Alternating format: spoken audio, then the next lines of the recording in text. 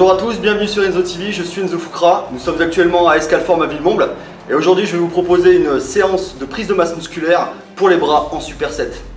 Donc qu'est-ce que le superset eh ben, C'est une méthode qui consiste à enchaîner deux exercices sans temps de repos sur les groupes musculaires antagonistes. Comprenez par là opposés, en l'occurrence pour aujourd'hui ce sera les, biceps et les triceps, mais c'est une méthode que vous pouvez aussi appliquer pour les pectoraux et le dos, ou éventuellement les quadriceps et les ischio-jambiers. Donc les, bienfaits de cette, euh, méthode, bah, premièrement, contrairement à un entraînement classique en série directe, le fait d'enchaîner les exercices va réduire le temps de séance et également l'intensifier. Donc elle, euh, elle est idéale pour qui? Pour les personnes qui manquent de temps pour s'entraîner et pour les personnes qui sont un petit peu, les pratiquants qui sont un peu en perte de motivation. Le deuxième intérêt, certainement celui qui nous intéresse le plus, c'est que devant l'accumulation d'acide lactique, et on va en produire beaucoup, de par la nature de, bah, l'enchaînement des exercices, bah, le corps répond comment? Eh ben, En sécrétant beaucoup plus d'hormones de croissance et de testostérone, qui je vous rappelle hein, sont les deux, éléments clés pour la prise de masse musculaire. Le nombre de séries, on effectuera trois gros supersets. Dans chacun de ces supersets, trois séries. Je vous rappelle, hein, notez bien, une série, c'est deux, deux exercices enchaînés. Donc volume total de la séance, 18 séries. Le nombre de répétitions, encore une fois, il variera selon la nature de l'exercice, que ce soit un exercice soit de base ou d'isolation. Dans l'absolu, on restera dans cette fameuse fourchette euh, que je vous avais définie lors de la première vidéo. 6 répétitions minimum, 10 répétitions maximum. Le temps de repos, 1 minute, 1 minute 30 entre chaque série. Rappelez-vous, hein, le but c'est d'utiliser le maximum de poids en restant dans la fourchette de répétition et en adoptant une technique irréprochable. Bah écoutez, je suis bien échauffé, donc sans plus attendre, on va commencer.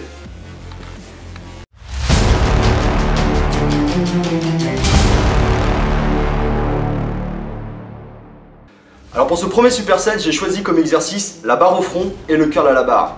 Ce sont deux mouvements de base qui vont non seulement développer la force de vos bras, mais qui vont aussi développer leur masse, mais dans leur ensemble. Comprenez par là que la barre au front va solliciter les trois têtes que constituent vos triceps, le vaste interne, le vaste externe et la longue portion. Et le curl à la barre va développer, euh, va solliciter les deux têtes que constituent vos biceps, le court biceps et le long biceps. Donc pour, pour, la barre au front, j'ai opté pour une barre Z donc euh, la barre ici, hein, cette barre coudée, si vous ne la connaissez pas, elle a le mérite d'offrir une prise qui est plus confortable en limitant le stress au niveau des poignets. Donc au niveau de l'exécution, je vais saisir la barre largeur d'épaule. Je vais m'allonger sur le banc, les pieds bien ancrés au sol, la tête constamment en contact avec le banc, ne levez pas la tête durant l'exercice. Je vais développer la barre au-dessus de la poitrine. Concernant l'écartement des coudes, L'idéal est d'avoir les coudes dans l'alignement des, mains. Si jamais cette, position bah, vous est un petit peu inconfortable, bah, une, optez pour une position où vous êtes plus à l'aise. Le tout étant de ne pas avoir les coudes complètement écartés. D'accord? Et là, on arrive au moment clé de l'exercice. C'est vraiment la pierre angulaire de la, de la barre au front. C'est que une fois que mes coudes sont placés, ils ne devront plus bouger. On appelle ça fixer les coudes. La seule chose qui va bouger durant l'exécution de la barre au front, ce sont mes avant-bras qui vont effectuer une flexion vers le front en inspirant sur deux secondes et une extension d'une seconde en expirant. Vous contractez fortement les triceps en du mouvement en évitant un verrouillage trop brutal. Préservez vos articulations. Ok? J'inspire. J'expire.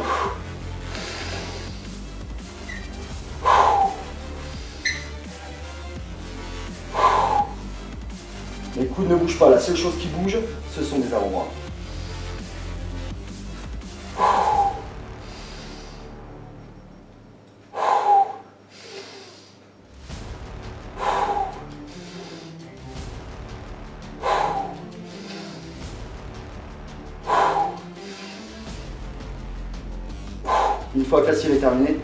La barre sur le torse, on se relève et on pose.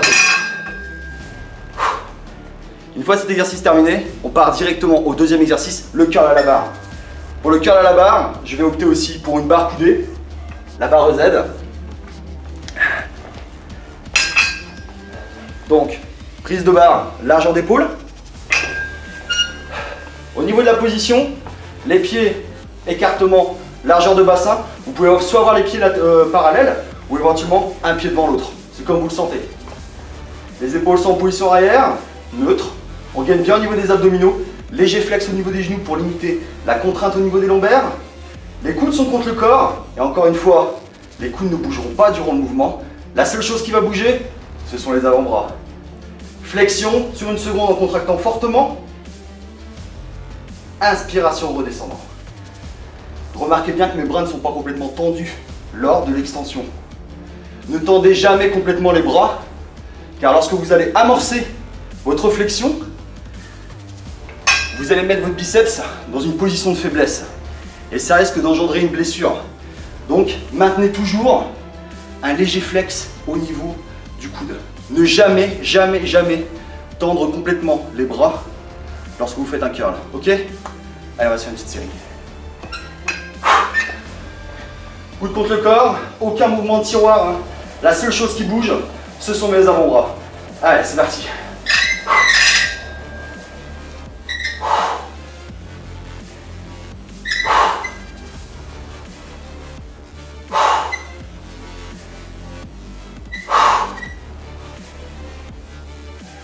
Expirez, contractez bien au du mouvement. Ah, je contrôle bien. Léger petit flex, je remonte.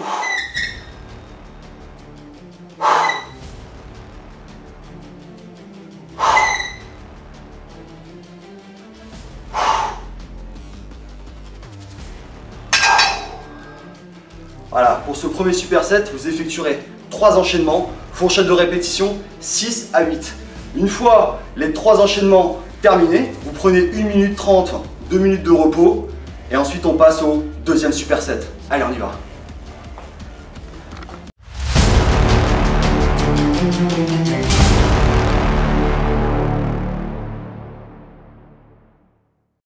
Pour ce deuxième superset, j'ai choisi comme exercice les extensions poulicordes et le curl pupitre.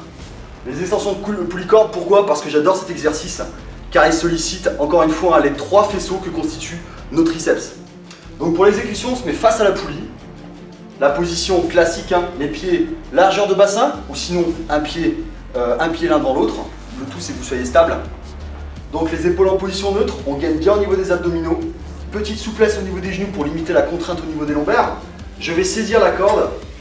La première chose que je fais, maintenant que vous êtes familier avec le terme, je vais fixer les coudes contre le corps. Donc bien sur le corps, bien contre le corps, voire légèrement devant. En aucun cas, on doit assister à de mouvements de tiroir, pas de ça.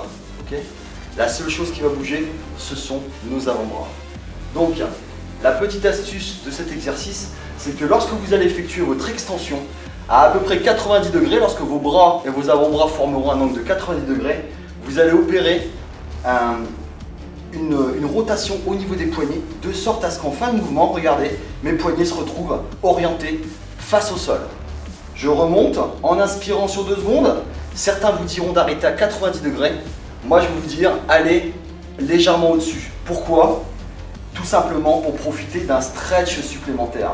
Car gardez en tête, les amis, plus un muscle s'étire, plus lorsque vous allez le contracter, il sera fort. Plus lorsque vous allez le contracter, il amènera de sang et c'est ce qu'on recherche. Ok? Allez, on va se faire une petite série. Donc les coudes contre le corps. Je regarde bien droit devant moi, je suis bien gainé au niveau des abdominaux. Extension, rotation, contraction. Contractez fort en fin de mouvement.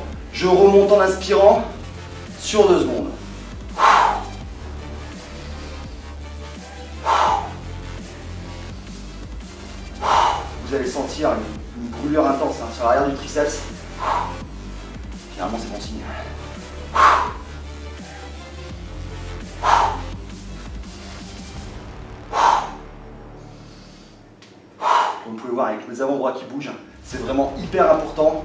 Pour s'assurer d'une bonne, isolation du travail de triceps.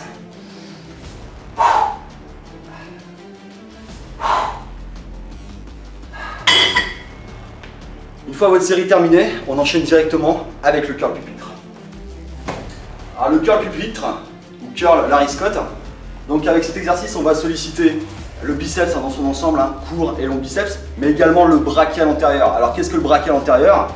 C'est cette partie du biceps, là, va donner ce petit galbe sur l'extérieur du bras. D'accord? Donc au niveau de la position, bah, tout simplement, on va s'asseoir sur le, sur le pupitre. Le placement des coudes, bah, Tout simplement, veillez à ce que le sommet du pupitre soit à peu près à 5-10 cm de vos aisselles. Ne, ne, mettez pas le pupitre calé directement dans les aisselles. Pourquoi? Vous allez trop stresser l'épaule. D'accord? Donc je mets bien les coudes, le pupitre à peu près 5-10 cm. Je vais saisir la barre largeur d'épaule. Je garde mes épaules pas en avant, encore une fois pour ne pas stresser l'articulation. Les épaules en position arrière, le dos est bien droit.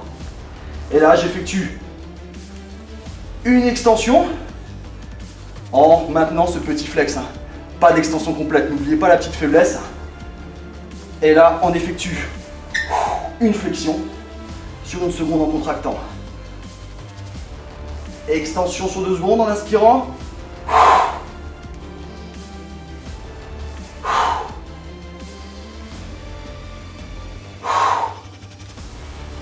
J'inspire. J'expire, contractez fort. C'est pas la peine de ramener la barre jusque là, ça ne sert absolument à rien. Une fois que vous arrivez à cette hauteur, contractez fortement et redescendez. On contrôle bien.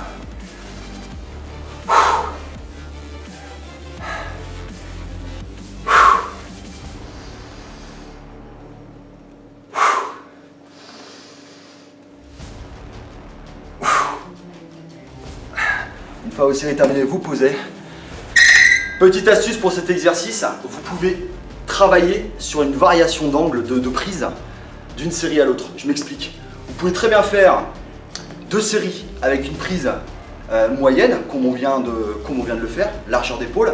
Et vous pouvez très bien insérer entre ces deux séries une série en prise inférieure à la largeur d'épaule. Ça va avoir pour incidence de travailler ce qu'on appelle le pic du biceps.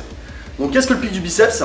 Bah, Tout simplement, c'est ce qui va donner cette forme globuleuse qui va être plus ou moins haute selon votre génétique, d'accord? Donc plus vous êtes travaillé le pic, plus vous allez travailler la forme globulaire de votre biceps. Donc vous pouvez très bien faire deux séries prise moyenne et deux séries, une série prise serrée. Ok? Comme ça vous êtes sûr de travailler le biceps sous tous ses angles. Deuxième superset terminé, 1 minute 30, 2 minutes de repos et on est parti pour le troisième. Suivez-moi.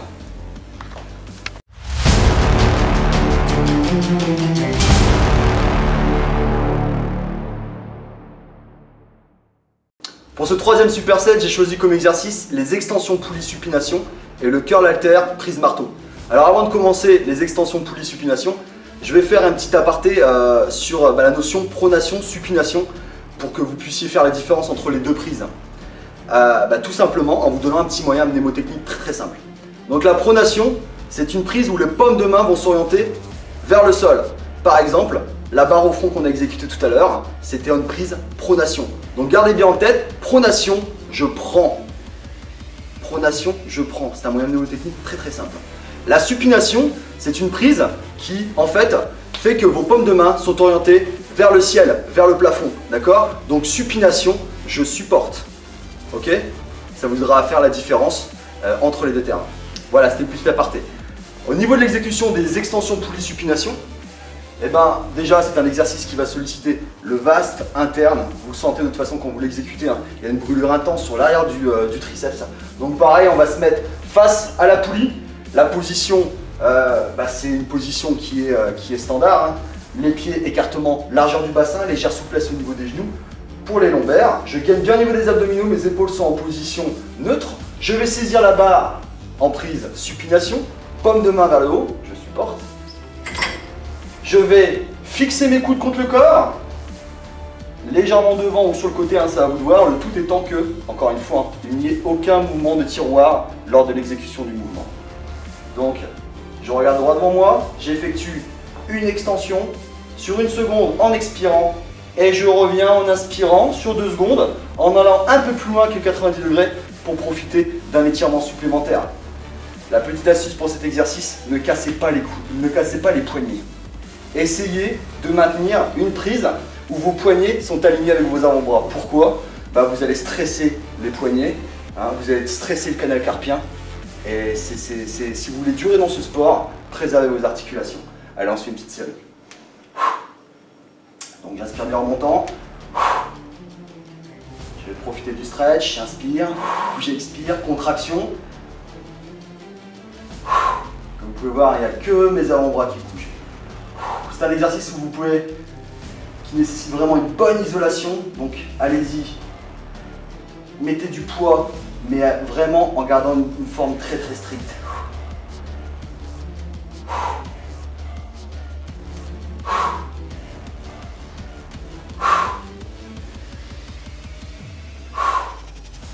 À la fin de la série, vous pouvez finir par un petit pic de contraction, c'est-à-dire une contraction en isométrie, on contracte fort, fort, fort, fort, fort, et on revient. Une fois la série terminée, on enchaîne directement avec le second exercice. Le second exercice qui est, qui est euh, le curl alter prise marteau. Alors cette fois-ci, cet exercice ne veut pas solliciter directement notre biceps, mais va solliciter euh, nos avant-bras, et ce fameux brachial antérieur que, que j'ai abordé tout à l'heure. Donc le brachial, rappelez-vous, hein, c'est ce muscle vers l'extérieur, c'est celui-là qu'on voit là, qui va donner de l'épaisseur, d'accord De l'épaisseur à votre, du galbe à votre biceps, d'accord. Cet exercice va aussi solliciter le long supinateur, l'avant-bras grosso modo, ok. Donc au niveau de la prise, je saisis la paire d'haltères, la position standard, les coudes sont contre le corps, et là, je vais effectuer une flexion en prise neutre. Cette fois-ci, la prise neutre, c'est une prise où les pommes de main vont être face à face. Comme ça. Prise neutre. J'effectue une flexion dynamique sur une seconde. Je contracte fortement en haut et je redescends sur deux secondes. Maintenez ce petit flex au niveau du coude, hein. pas de bras complètement tendus pour éviter euh, de vous blesser au niveau du biceps. Toujours garder une légère flexion.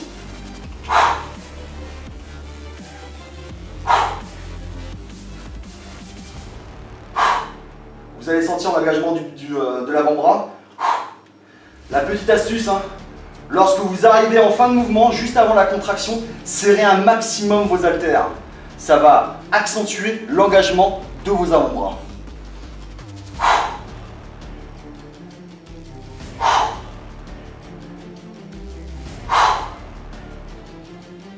Là, je contracte fort.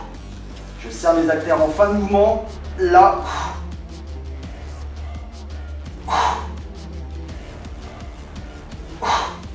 de contraction à la fin. Et je pose les haltères. Voilà, c'est avec cet exercice bah, que nous concluons notre troisième superset. Et euh, de la même manière, notre entraînement. J'espère que cette séance vous a plu, j'espère que mes conseils vous auront été utiles. Euh, si c'est le cas, bah, vous n'hésitez pas, vous vous abonnez à la chaîne. D'ici là, je vous donne rendez-vous la semaine prochaine. On quittera l'enceinte de la salle. On va se retrouver en cuisine pour une spéciale complément alimentaire. J'effectuerai un top 5 de ce que j'estime être les meilleurs compléments alimentaires pour notre sport, la musculation. J'y décrirai leurs fonctions, leur rôle, les moments où les prendre et les dosages. D'ici là, je vous souhaite tous un très bon entraînement. Vous étiez sur Enzo TV. Ciao, ciao, bye